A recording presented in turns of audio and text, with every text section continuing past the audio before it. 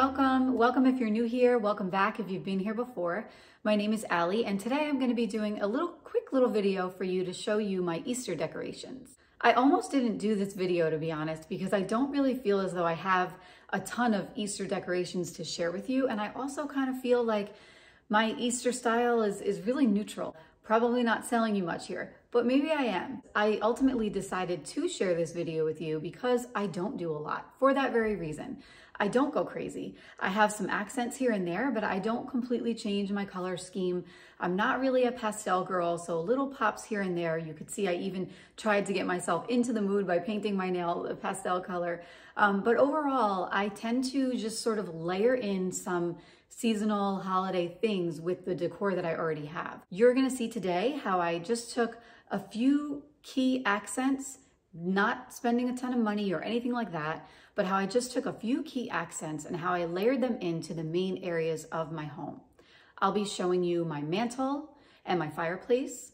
I'll be showing you the coffee bar area, which I am really excited about because even though it's very simple, I feel that it's something that really anybody can do. And I love the way that it turned out. I'm also going to be showing you, we have a covered porch outside, so I'm going to be showing you just a couple of little accents that I added into that area.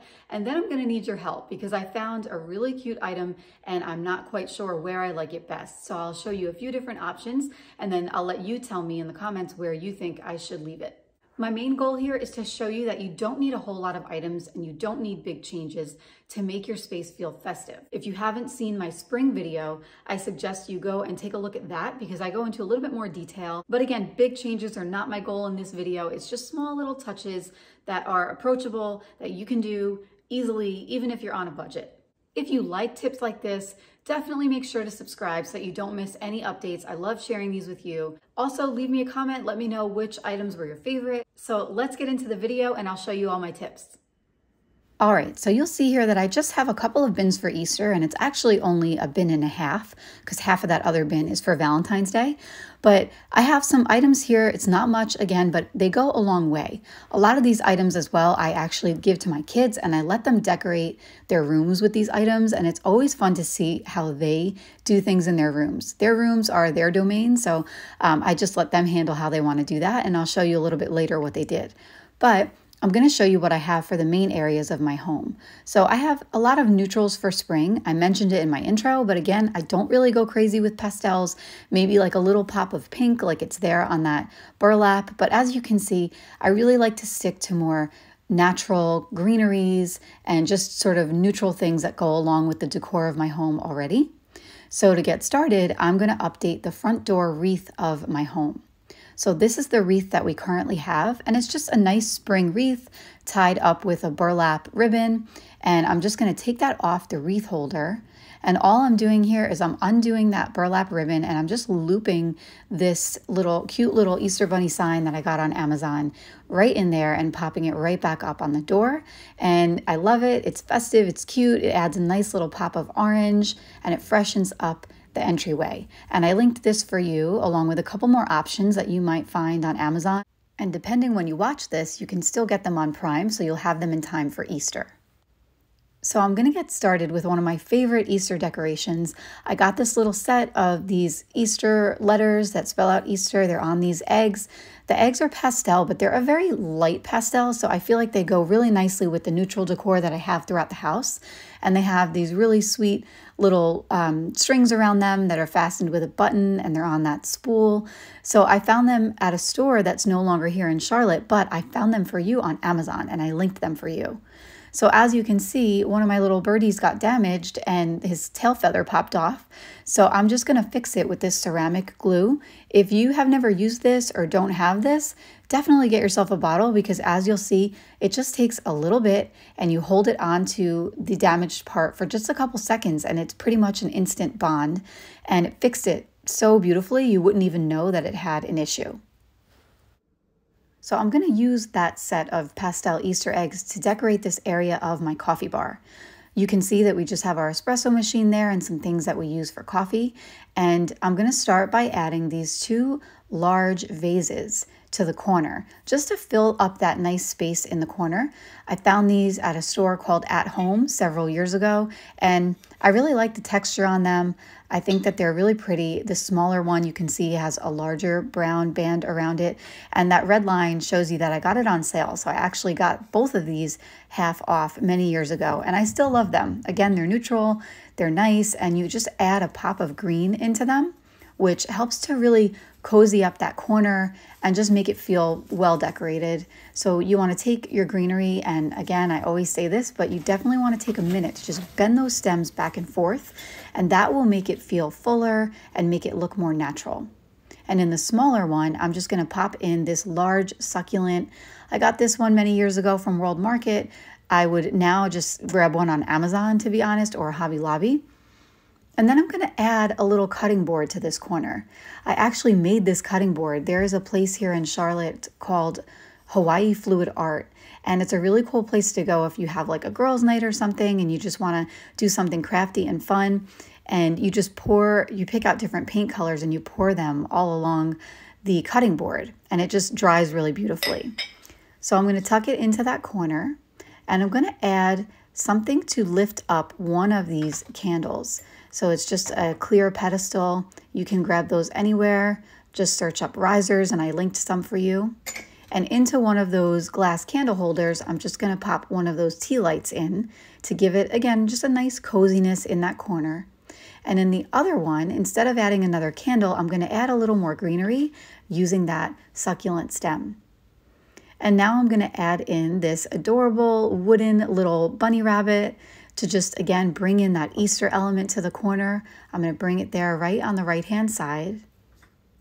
And now I'm going to go in and I'm just going to add that little set of Easter eggs to the corner just to cozy it up and make it feel nice and festive. And if you don't celebrate Easter or are looking for a different option, they also have ones that spell out spring and family, and I'll link those for you so that you can have something a little bit different. So I'm going to slide my frother out of the way here to make room for one final touch I'm going to add to this corner. Now I found this stem of succulents, which I've actually had for a while, and sadly, many of the pieces broke off of it. So what I'm going to do is I'm going to repurpose it a little bit in this corner. I'm going to start by just tucking that stem. I'm going to move my bunny out of the way and just tuck that stem, sort of hide it there behind the smaller vase. And then I'm going to bring the bunny back and I'm just going to sort of fluff those pieces around him, kind of like he's just sitting in a patch of greenery over there. And then I'm going to take those little pieces that I showed you earlier that sort of fell off. And I'm just going in and I'm tucking them into that candle holder. And this makes sense because the other stem that I have in there is a succulent. So you can tell that it goes nicely. And I wound up really loving the way that the colors have a little bit of contrast. So now it just looks like there's a succulent growing and then you have another one sort of cascading down the side of it. And I'm really happy with the way that it turned out. I leave that outlet alone because we use that uh, we use this area a lot in the morning. My husband will make an espresso. I do not do espresso because I would be up for a week and a half, but I do use the frother. And if you're into warm drinks that don't have caffeine, I have another video here for you on my channel that has three healthy drinks for you that don't use caffeine. So you might want to check that out. But overall, I'm just really in love with the way that this festive little corner turned out. And we have these three jars that I also really love. I use them to keep things like cinnamon sticks and we use them to keep things like dried orange slices. My husband and my brother in law make a lot of old fashions. So these just smell really nice. They look really pretty. And again, they just add to the sort of natural textural element of the home. And every time you come over here, you get like a nice little whiff of that aroma. So back here, I had these organic cocoa rolls. They are crispy coconut rolls. I got them at Costco, and my dad's been over here making espresso, and he definitely dips into that. So I'm just to go ahead and replenish that. I'll link that set of jars for you. I got those on Amazon also. But again, I really like adding a natural element. I really like when you incorporate something into the design that is functional. And for us now, this little corner looks beautiful and is also very functional and we use it every day.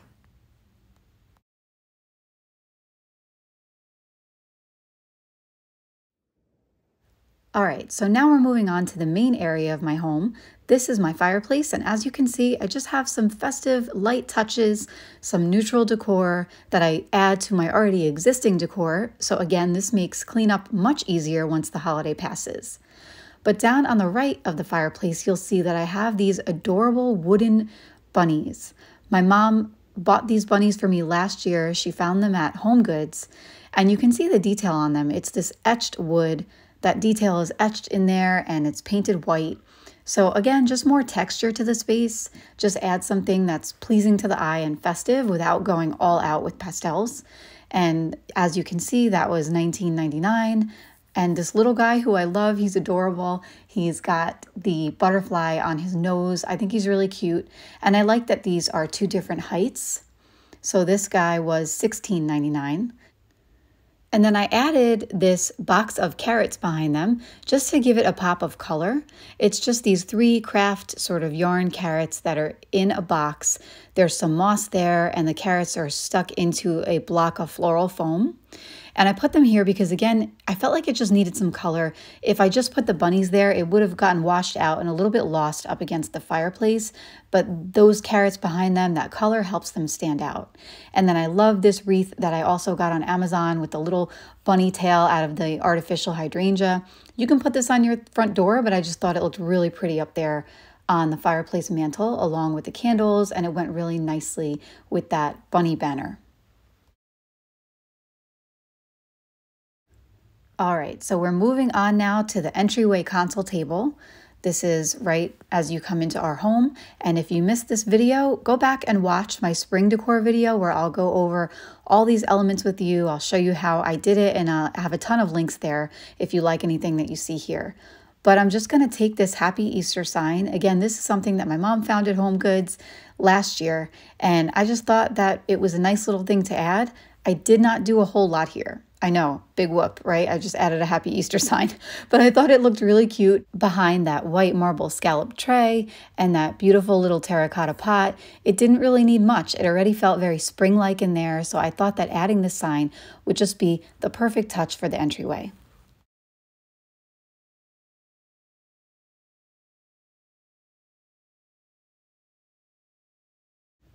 All right, so I have this gorgeous rustic bench, which was a newer find for me. I just found it recently. And when I was out at Michael's the other day, I saw this adorable little bunny guy. They were having 50% off of all their Easter decor. So I think he was $14.99 and I got him for around eight bucks. And I thought he would just add the perfect little festive touch to this vintage bench. This bench is one of my favorite places in the home right now. So I think I might like him here. We updated our gallery wall, as you can see, and that's where he is right now. But then I tried him in a few other places. I tried him in the center of our coffee table in our main living space. And I thought he looked really cute under here too, underneath that little pop of berry spray that we have there. I think he adds a nice little touch of bling to that area. Then I tried placing him in the center of this dining table centerpiece that I have. Again, I have another video on that if you want to see how I pulled that centerpiece together. But he looks cute here too. He looks like he's just sort of hopping through a garden. And again, I like that he has that shimmer to him because it stands out against all the neutral items that I have in the home. And then I tried him in this last spot, which is outside our covered porch on our coffee table. And again, up against the backdrop of that terracotta pot, he adds a nice little pop of color. So let me know which spot you like him at best.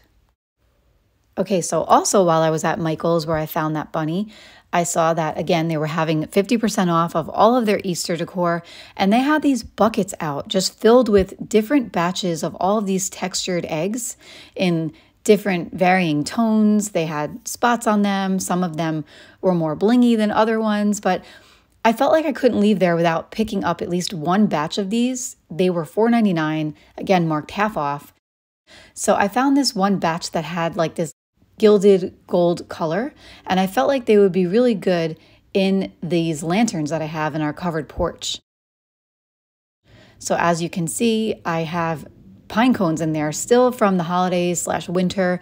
It's one of the only places in the house that I really hadn't gotten rid of all the winter stuff. So I thought this would be a really good way to transition into spring. And I'm just adding these here.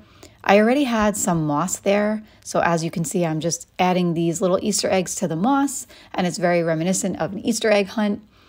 And then on the mantle, I have another one of these wooden Easter signs. Again, this was a score that my mom found last year at Home Goods. I linked some different options for you on Amazon because they also have a ton of them.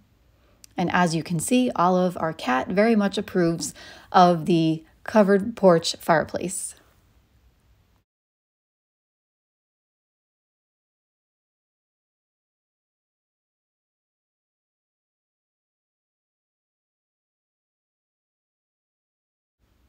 And here's a quick update that I did to our downstairs bathroom, our guest bath.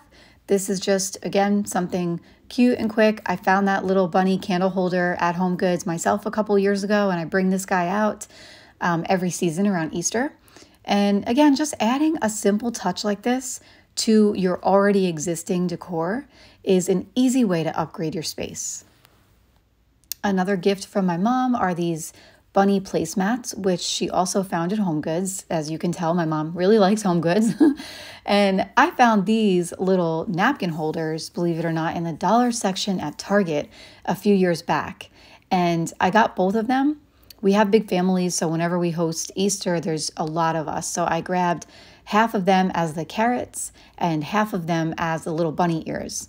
And I'm just going to show you a really quick way that you can do an Easter place setting. So you want to just fold your napkin over in half. You're going to fold it in half once and then fold it in half again. And then you're going to take the top where the seam is not. And you're going to place that at the top. And then just take your napkin holder and just loop it through and, and pull it. It's as simple as that. And then you can just fluff up your napkin and sort of tuck those seams down to make it look a little bit more polished and a little bit more clean. But I realized after I added the bunny that I wanted to actually try it with both the carrot and the bunny. I thought it would look really cute and I like how the bunny ears give it a little bit of height there. So I put two of them together and I really like how it came out. We're actually not hosting this year. If I were hosting this year, I would totally add this to the plates as the place settings for Easter. But again, just to show you an idea of little things that you can do to make a little festive touch in your home. So I brought that bin upstairs just to show you a little quick little thing what I did for my kids, actually how they did it. They put those signs on their door in their room. My son likes to use that blue tape to show me where he wants things and then I go back in later once he's placed them and I add a command strip to sort of hang it so that you don't have that blue tape. But I love that they do this. They have total free domain over their rooms and their bathroom. They added these little bunny signs to their bathroom. They love decorating as much as I do, and I really like to see them get involved as well. And I promised that I would add a few shots of what the candles look like at night in our house. So here it is for Easter. Looks so pretty, adds such a nice soft glow. I turn these candles on every night. I don't wait for a holiday or anything like that. I really just like to do this almost on a nightly basis. It makes me feel calm. It makes my space feel calm. Also, even when the kids go to bed and I'm sort of winding down from the day, having this soft glow with these battery operated remote candles always makes me feel better. So that is all I have for today. Did you like this? Was this helpful to you? What did you think about that little silver bunny? Where should I keep him? Should I keep him on the rustic bench, on the dining room centerpiece, in the middle of the dining table centerpiece? Should I keep it on the coffee table in the covered porch? Or should I keep it on the coffee table in the living room? Let me know what you think and I really hope you enjoyed it. If you did like this video, make sure to give it a thumbs up. YouTube loves that and it will help you to see more of my videos. Also, make sure to subscribe so you don't miss any that come out. Thanks for watching and I'll see you next time. Take care.